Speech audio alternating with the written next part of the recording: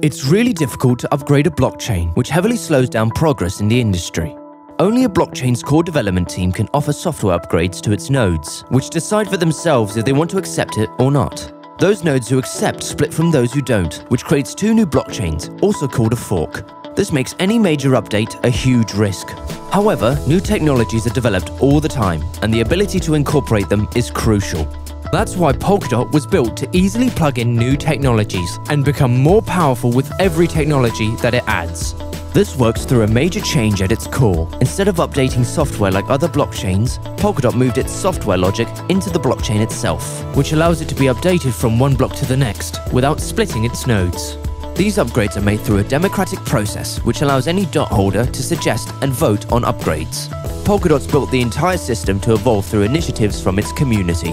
Both interoperability and scalability are solved by allowing Layer 1 blockchains to build on top of Polkadot's Layer 0 blockchain called the Relay Chain.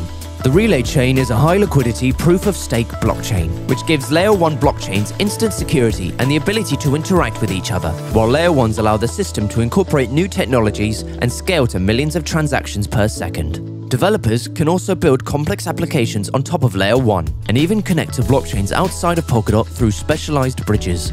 Polkadot's built a powerful coding framework called Substrate, which allows teams to create new blockchains in minutes. And the community can support their favorite projects through the crowd loan process by loaning their dots in return for a project's tokens, and then getting their dots back after the loan period expires.